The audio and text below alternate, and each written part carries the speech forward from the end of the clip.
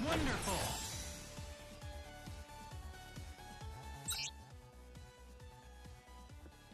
Yo, that combo is impractical as fuck.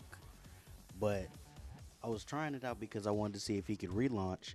And uh, technically he can, but the timing is real strict. He has to fall down really low. And um, when you do S to hit him back up, you barely hit him at the top of the hitbox. And on top of that, they go up really high. So it's really impractical. Um, I just chose to cancel that last part with the gimlet because I was thinking that maybe the exploding arrow was not going to hit because they have a lot of hit stun at that point. And, um, the hit stun deterioration really kicks in.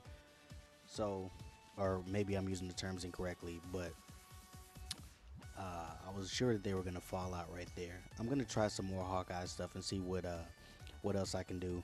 But uh, I thought that it was uh, pretty fancy, but very, very impractical. It's like, why even do it? But if you want to be, uh, if you want to be a show off, like sometimes I am, then you go ahead and do it. But uh, I want to see what other people can uh, put this stuff like this, or just kind of open some things up for people to think about.